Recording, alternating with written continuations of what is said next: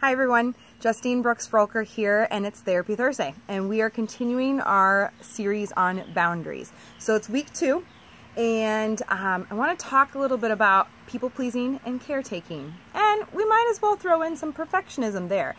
And how are these related to boundaries? Because when we are people pleasing and caretaking and perfecting, we aren't respecting our own boundaries, right? And here's the deal when it comes to people pleasing, caretaking, and perfectionism, what do you think's underneath them? And I'm going to burst your bubble here a little bit. It's shame. So Brene has a, a metaphor for perfectionism. When perfectionism is driving the car, shame is riding shotgun, and fear is the backseat driver. It's shame and fear. And I go as far to say that people pleasing and caretaking is the same. There are ways that we armor up. There are ways that we earn people's love. There are ways that we think that we are worthy and enough. When we are worthy enough just in our being and in loving people well.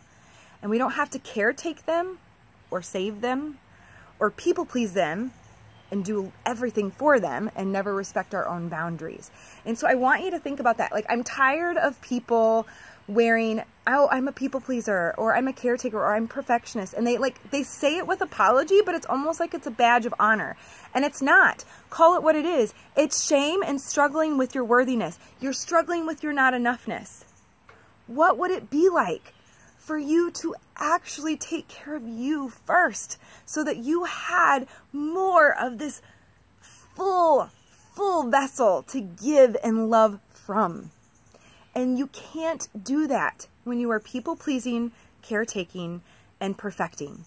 These are ways that we actually push people away because we're not living our true, authentic self. We're not standing our sacred ground so it's not our truth.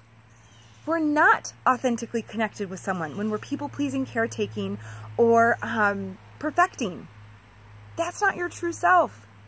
It's from this place of scarcity and shame and not enoughness.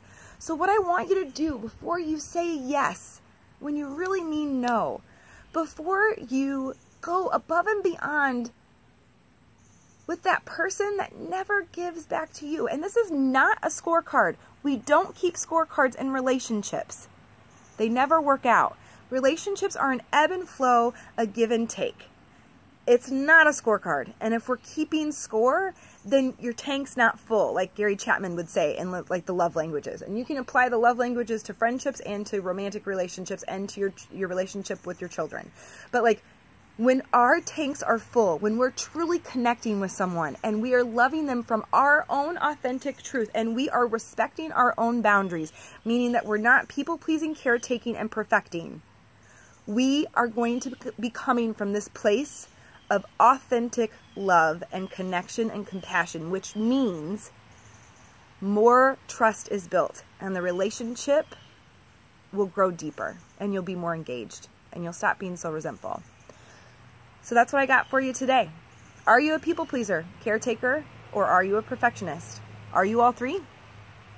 And dare I ask you to call that what it really is shame.